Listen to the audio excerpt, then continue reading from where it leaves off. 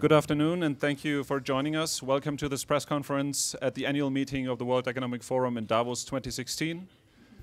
We're particularly pleased and honored to welcome President Mauricio Macri from Argentina here today, because it's been over a decade since we had uh, Argentina represented on such a high level, or on the highest level, I should say, uh, here in Davos. We're also joined by Alfonso uh, Prat-Gay today. Thank you very much for being here. Mr. President, over to you. Thank you. We are really, as my moderator mentioned, very happy to having participated once again in Davos, this time representing my country. Uh, we really appreciate this moment to exchange ideas and to convoke the world to come back to have a good and pragmatic and intelligent relations with um, our country. We are ready to take off. We are very optimistic about our future, even though the world presents with many challenges and doubts in those days, in these days. But we really think that this is a very good chance for, for our country, counting on our wonderful human resources, gigantic possibilities that gave us uh, our natural resources. So we are looking forward to to start growing, to uh, attract investments, and to to fulfill the commitments that we assume with the citizens of Argentina. This zero poverty in my country, defeating drug trafficking, and improving the quality of our democratic system. That's in we are engaged, and that's in what uh, we are putting all our, our efforts. Now, questions, we are here with the Minister of Finance to answer. Thank you very much, Mr. President. So we'll have a microphone here. Please state your name and organization for the sake also of our online audience. Can we have a microphone for the gentleman in the front here, please? Uh, hi, uh, I'm David Sirota with the uh, International Business Times. Uh, my question is, uh, in the U.S. presidential election, Marco Rubio is one of the candidates and has been uh, extremely critical of Argentina in recent years, urging American officials to deny World Bank loans to uh, to Argentina regarding the debt situation. Uh, I'm just curious if your feelings on Senator Rubio, if you're concerned if he would become president, what what it would mean for U.S.-Argentinian relations. Thank you, David. Let's get the second question from the gentleman here in the front, please. Fernando Bayo de W Radio.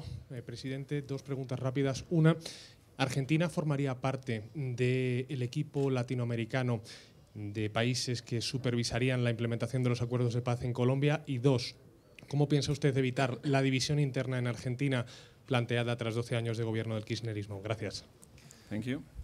Uh, first, I think that the, the Rubio's position has is related to the past relation between Argentina and the United States of America. We are ready, and I talked yesterday with Biden in our meeting, the vice president, and on the phone with Barack Obama and with the ambassador of, of the United States in Argentina, that we are ready to build a, a pragmatic, intelligent, and productive relationship among our countries. So, and we are ready to work together against climate change, drug trafficking, terrorism, corruption, and and renewals, no, Renew, uh, all uh, energy sources that uh, will help to curb climate change. So I think that we are we are very optimistic, and Vice President um, expressed the same optimism as I'm referring. So I don't think that that will be a problem in the future. And also on that one, uh, we had a meeting yesterday with Treasury Secretary Jack Lew, as you all know. And um, Jack Lew uh, basically decided after that meeting and after, you know, a good few weeks worth of discussions that the US will change the way they vote at the international financial organizations. Uh, they will no longer vote for no just for no reason, but rather they will have a constructive approach because, well, they're seeing what's going on with President Macri's administration. En lo segundo, eh, sí queremos ayudar en lo que podamos en el proceso de paz en Colombia. Nos parece eh, realmente una, un, un, una, un, camino a recorrer juntos y en lo que podemos apoyar al pueblo colombiano, al cual me, a mí me une un enorme afecto. Recordemos que la serie ganadora de Boca Juniors fue basada en Bermúdez, Serna y Córdoba, así que es un lindo recuerdo que tengo de Colombia y por muchas otras razones más. Y bueno, y la segunda cosa era la división. Acá me acompaña uno de los líderes más importantes de la oposición en Argentina, Sergio Massa, del Partido Peronista, con serias posibilidades de terminar siendo el que conduzca el Partido Peronista en los próximos meses.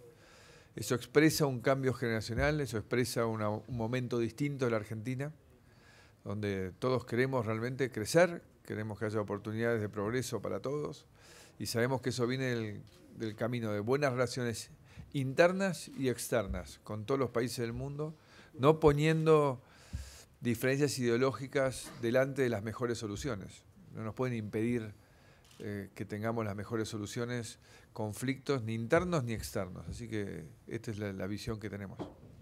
Thank you. Uh, please. Presidente Carol Guerrero de Deutsche Welle Televisión, eh, usted se ha distanciado un poco de Venezuela. ¿Qué nos puede decir al respecto? Yo creo que Venezuela, el gobierno de Venezuela, no Venezuela se ha distanciado del respeto a los derechos humanos. Ese es el problema fundamental. nosotros tenemos, yo tengo principios y no los cambio. Y lo que he expresado es mi vocación porque el gobierno venezolano respete las libertades de aquellos que participan en política desde la oposición. Y, lo que ha hecho de meter preso a muchos de ellos sin, sin realmente causa que lo justifique, va en contra de eso. Y eso es lo que he pedido que se, que se revea. Thank you very much. The lady in the middle here, please. Hi, Gabrielle Steinhauser from the Wall Street Journal. Um, last week, talks restarted with the holdout, holdout creditors, and there was a first snag on a non disclosure agreement that the creditors have demanded. Has that since been resolved? And how are the talks going now? When do you expect a conclusion? Thank you. Not yet. Before Alfonso can say some about all these subjects, is under his responsibility. I want to insist that after so many years of conflicts, we have expressed and we had acted in consequence, traveling to New York to personally say that we are ready uh, to reach uh, and settle an agreement in fair, in, in, in, a, in a fair, in fair conditions, and uh, we are we are ready to work on that we were ready to travel the 25th of January, and the, the mediator Polak demanded a, a, a post, to postpone it to the 1st of February. So we are looking forward to solve the problem as soon as possible, but I, I insist that we have to find something that uh, could be balanced for both parts. But Alfonso? Yeah, no, not much to add, Mr. President. Just that uh, we are the party who wants to engage, and we expect the other party to have the same attitude. And that was the idea when we met uh, last week with uh, the holdouts and with uh, uh, Dan Pollack. We had agreed on making an offer um, the upcoming next week. Uh, there were some logistical problems that were not on our side. We're, we're ready to sort this out. As the President has said, um, the soonest and in the fairest possible way. Thank you very much. Uh, gentlemen, Presidente Daniel Galvalice de la agencia Telam, le quería hacer dos breves preguntas. Una, usted anunció que se volverá a colaborar de parte del gobierno con el FMI para, eh, con respecto al artículo 4 para la elaboración de informes y quería preguntarle por qué ha decidido eso luego que fue discontinuado. Y la segunda, si el retorno al mercado de capitales eh, se espera el retorno de, para pedir créditos hasta la resolución del conflicto con los holdouts o si se piensa hacerlo antes. Gracias. Thank you very much. If you just pass the microphone to the lady next to you, we take the second question. Uh, Mr. President, uh, I'm from Hong Kong Phoenix TV. I'd like to know your uh, view on Asian Inf Infrastructure Investment Bank because Argentina showed interest to join the membership since last year. And how do you see its role in South America? Thank you very much. Thank you. Well, let me start by the second question. I expect that the, the, you will, that bank will fulfill a, an important role. Uh, we are looking forward to boost uh, production in, in, in food, in energy, in sustainable mining, tourism, and for all that we need a huge investment in infrastructure. So we are looking forward, uh, and we are here to convoke everybody that is, is in capability of building, constructing, and, and, operating. So, in terms of PPP, that's something that we are going to use as as an important tool. En lo primero, eh, que creo que también Alfonso amplíe, lo que hay que entender es que nosotros hemos, nos hemos comprometido a decir la verdad y no tenemos nada que ocultar, con lo cual nosotros podemos informarle al mundo todo lo que vayamos haciendo sin por eso perder ningún tipo de independencia. Nosotros vamos a hacer lo que pensemos que es lo mejor para que nuestro país pueda crecer, que nuestra gente pueda tener trabajo, que podamos lograr llegar a pobreza cero. Y eso lo vamos a hacer con absoluta transparencia, desde un gobierno abierto donde toda la información va a ser pública y, en, ese, y en esa dirección también vamos a informar al fondo, según el artículo 4, de cualquier información que requiera. Sí, para agregar a esa pregunta, eh, hoy tuvimos una reunión con, junto con el presidente del Banco Central de Argentina, con la directora del Fondo Monetario Internacional. Acordamos que en un plazo muy breve vamos a dar a publicidad todas las evaluaciones que viene haciendo habitualmente el Fondo Monetario Internacional acerca de Argentina. Y esto quiero aclararlo, porque todos los años hay un informe eh, del país que eh, el staff del fondo presenta al directorio. Eh, ese informe existe, solamente que las autoridades de Argentina elegían que no se publique. Nosotros, por decisión del presidente, como lo acaba de decir, queremos que se publique, que todo sea transparente, y en ese marco la próxima, este, el próximo informe será cumpliendo con el artículo 4, con lo mismo que se venía haciendo antes, solamente que nosotros lo ponemos sobre la mesa para que se conozca. Esta transparencia también es la que pedimos, y aprovecho para volver a la, pregunta anterior, um, about the holdouts and the NDA question. Same transparency on that regard. I mean, we want to have a negotiation that is open for everyone to be able to see.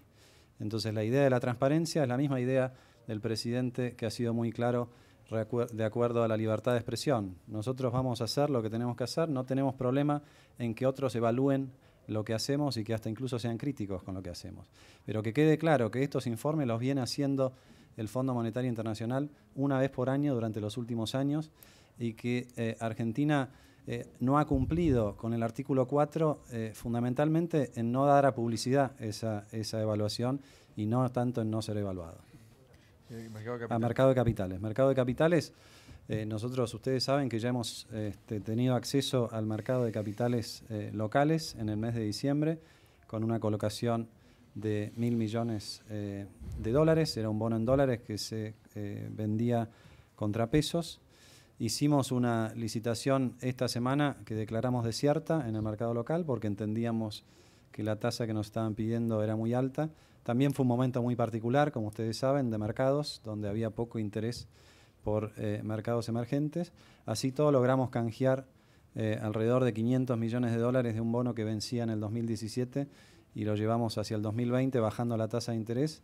Entendemos que hay eh, fondos y recursos disponibles en el mercado local suficientes como para ir financiando o para ir cubriendo las necesidades de financiamiento y de modo tal de no tener apuro para avanzar en la otra cuestión. La otra cuestión es cuanto antes posible, pero también dijimos de la manera más justa posible.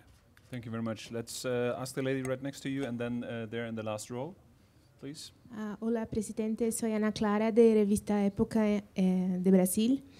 Y me gustaría preguntarle, uh, ya que usted dice que intentará cambiar muchas cosas en Argentina, uh, ¿habrá cambios en Mercosur?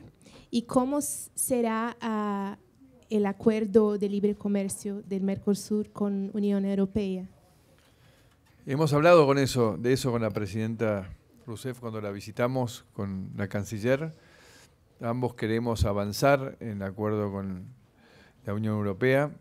Queremos que intentamos, y hemos hablado en varias de las reuniones que tuvimos estos días también acerca de la necesidad de intercambiar propuestas simultáneamente en este primer trimestre eh, de este año para que el proceso comience. Así que soy optimista que podamos avanzar en esa dirección.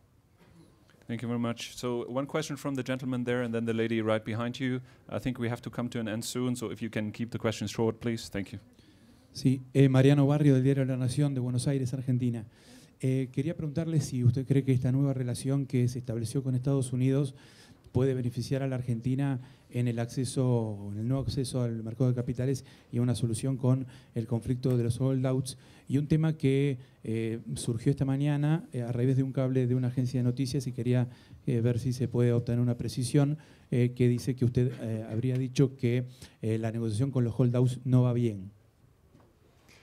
Yo lo que he dicho es que hasta ahora no, no hay resultados concretos y que esperábamos a esta altura tener realmente la cosa más avanzada, como mencionó el ministro.